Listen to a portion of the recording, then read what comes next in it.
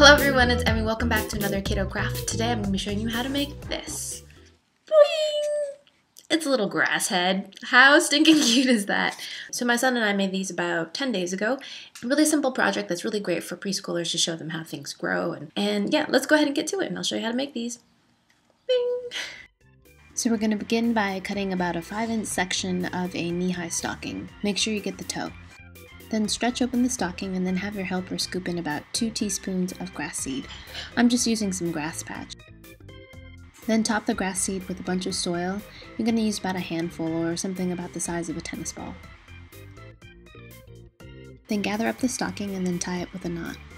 You can use a permanent marker and draw on some eyes, or you can do what we did here and just hot glue on some googly eyes. And then I just painted a little mouth using some whiteout. Run the grass seed under some water to get nice and wet, and then put the tail in a little glass of water. You can use a yogurt container, or we're just using baby food jars. And then place them on a sunny windowsill, and in a few days you start seeing your grass grow. And these are what they look like about 10 days after we planted the seed. If you want to hide the jars, you can just take a little piece of construction paper and then just tape it around the jar, and you've got yourself a little grass head